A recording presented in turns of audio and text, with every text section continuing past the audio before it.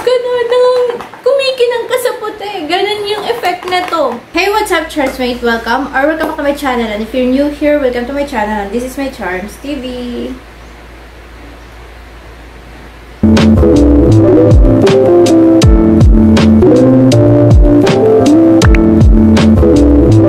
Okay, Charmsmate, for today's video, share ko po sa inyo ang 5 best soap that I've ever tried. Okay guys, lilinawin ko lang sa inyo. Itong 5 na isi-share ko sa inyo, ito yung 5 na nag-work sa akin. And sobrang ire-reco ko siya sa inyo. So, without further ado, let's get started. Okay guys, so summer na naman. So, nandiyan na naman yung nagtatan na naman tayo. Uso na naman ang outing, yung swimming. So, hindi maiwasan na nagtatan yung mga skin natin. And after that, siguradong maghahanap na naman tayo ng mga sabon or soap na perfect sa pagpapaputi or pagpapalighten ulit ng skin. Okay guys, for my top 5 is this one, the Koji-san. Alam naman natin na pagdating sa pagpapawhiten talaga ng skin, sobrang effective nito guys.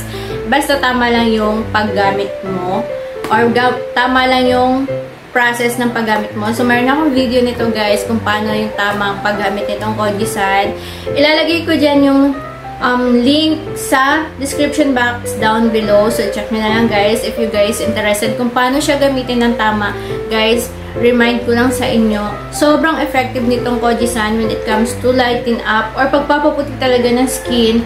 Pero dapat talaga tama lang yung way ng paggamit mo sa kanya downside nitong Kojisa na to, since Kojic nga siya, so meron, medyo drying siya sa skin. Sobrang bilis niyang magpapaputi, yes, pero kapag nagbilad or nabilad ka sa araw, sobrang bilis mo ring um, umitim. So, yun lang yung downside niya. Ang perfect nito, Kojisa na to, kapag nasa loob ka lang ng bahay, hindi ka mahilig lumabas. So, yeah, perfect siya. Pero, kung lagi kang nakabilad sa araw, hindi ko siya i-reco sa inyo. So, yun lang. For my top 4 is this one. Ayan. Ito guys, na-reco ko na to dito sa inyo, sa channel ko.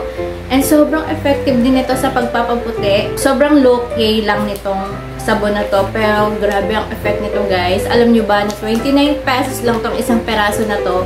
And yes guys, grabe magpapalighten, magpalighten up itong um, Gutaberry na to guys. Nabili ko nga pala to sa TikTok shop. And available to sa um, TikTok shop ko.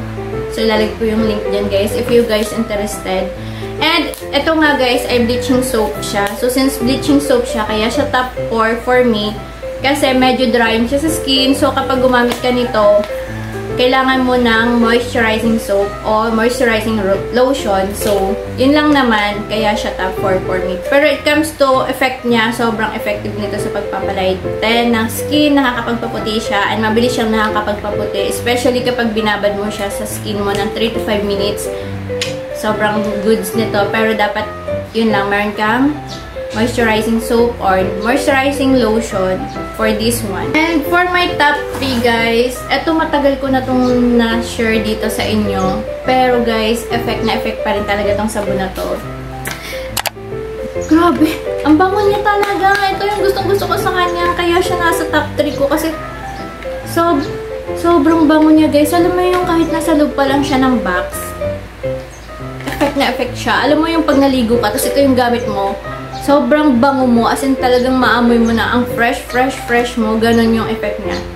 And kaya siya number 3 sa akin, guys. Kasi, dito sa place namin, since province kami, bihira or madalas naubusan ako ng stock nito.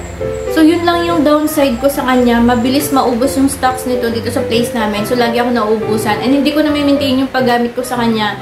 Since, pag nag kapag nag-out of stock siya, matagal siyang nagre-restock. So, napa, napapatigil ako ng paggamit sa kanya. Yun lang yung downside ko sa kanya. Pero overall, ang perfect nito guys. And take note guys, 39 pesos lang tong sabon na to. Nakakapagpalighten, sobrang bango. Hindi mo na kailangan ng moisturizer dito. Kasi nakakapag-moisturize na rin siya ng skin. Okay guys, for my top 2, ito yung hindi-hindi ko mawala sa lahat ng haul ko, Watson's haul ko, at sa routine ko sa pagligo ko. This one, guys. Ayan. So, kung nanonood kayo ng mga Watson's hauls ko, hindi siya talaga nawawala sa mga haul ko, guys. Bakit? Charot. Kasi sobrang effect nito sa pagpapalighten. And ito yung maire-reco ko sa mga young skin like 13 years old, yung mga gustong, mga bagets pa na gusto magpa-light or mag-glow up, madali siyang bilhin, kahit saan meron siya, hindi na naubusan ng stock, hindi napapatigil yung paggamit ko nito.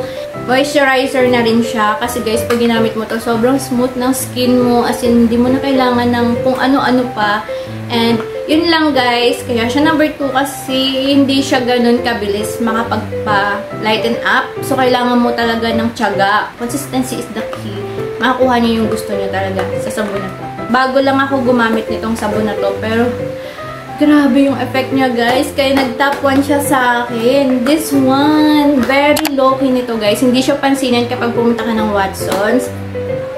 Hindi din siya super trending. Hindi siya nagtitrend sa TikTok or sa ibang platform. Pero ang effect niya, hype! As in, hype! To the highest level, guys. Alam niyo, ito, second box ko pa lang to. Pero dalawa yung laman na tong box na to.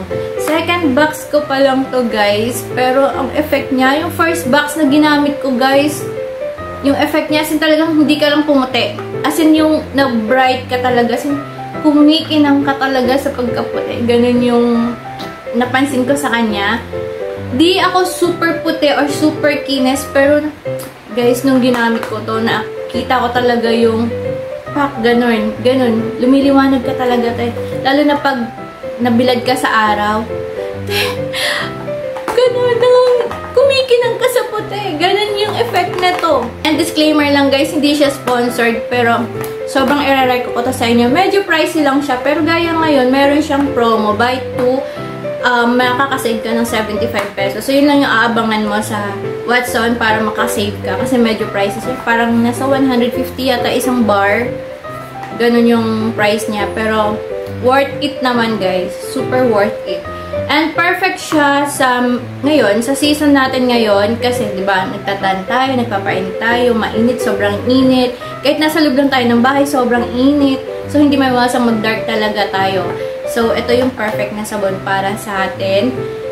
Sa ating mga nagpapaputi or addict magpaputi. So this one guys, super reco recommended ko. And hindi siya drying sa skin, moisturizing din siya. So hindi mo na kailangan ng moisturizer soap dito sapat na yung isang bar nito sa pagligo mo. So, yeah.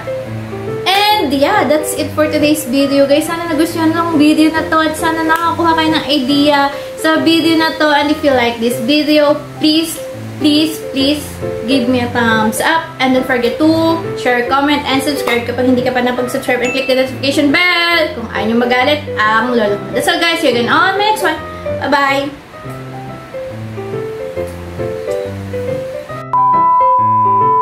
This one is perfect na pang... This one is perfect. This one is perfect for...